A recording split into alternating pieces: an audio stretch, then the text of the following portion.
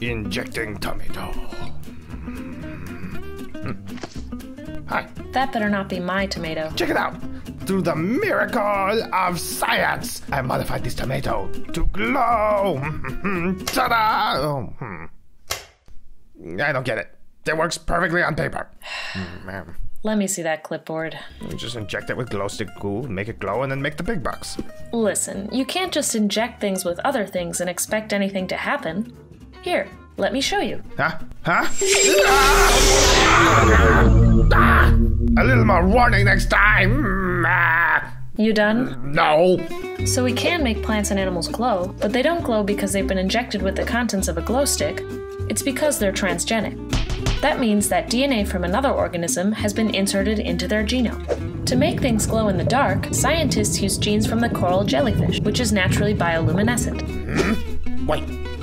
You're putting jellyfish in tomatoes? I got stung by a jellyfish once. I almost died. Are you trying to kill me?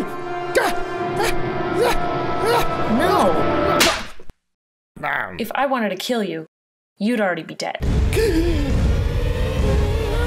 Maybe we should start from the very beginning. Inside every cell, you and every other organism on this planet have DNA. The functional parts of DNA are called genes, and all genes are made up of the same four bases. There's no such thing as a fish gene or a human gene.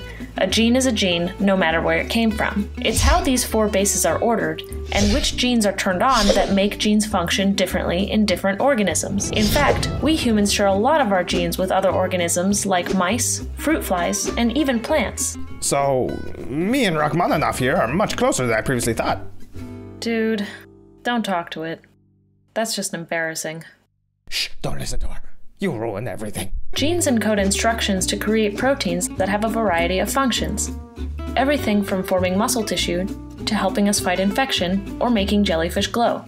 So there's two ways of getting those genes in. The first way is through biolistic transfection using what's known as a gene gun. No, that's like exactly what I thought the gene gun would look like. With this method, really, really small particles of pure gold are coated with the short strands of DNA containing the gene of interest. A short burst of pressurized helium then blasts through a tube, and the gold particles literally act as bullets, passing into the nucleus and depositing the DNA, which will integrate itself into the genome. The second method is a little more complicated. It involves using a special kind of bacteria known as agrobacterium, which has the ability to inject its DNA into plant cells using plasmids. In the lab, scientists are able to insert a gene into the plasmid. They then expose a plant leaf to the agrobacterium. The bacteria attaches itself to the plant cell wall and injects the DNA. The cells containing the new DNA can then be cultured and grown into new plants, where every cell now contains the new DNA. Ugh. Gotta get off that agrobacteria. No, no, no. There is no bacteria in or on these new plants. These harmless bacteria are killed and removed.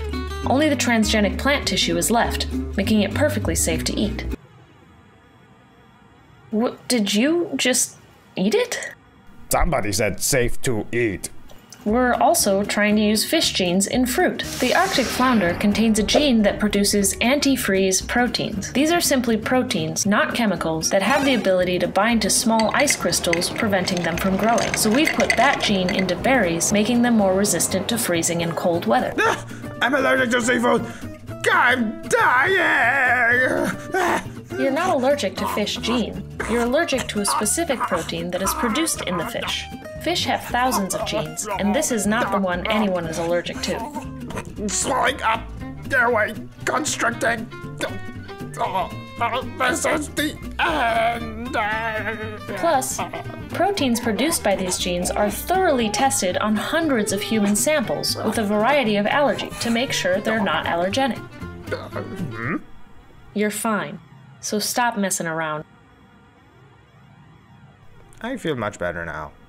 Beyond that, we use these techniques to genetically tweak our produce in a number of ways, everything from staying riper longer to being more resistant to bruising.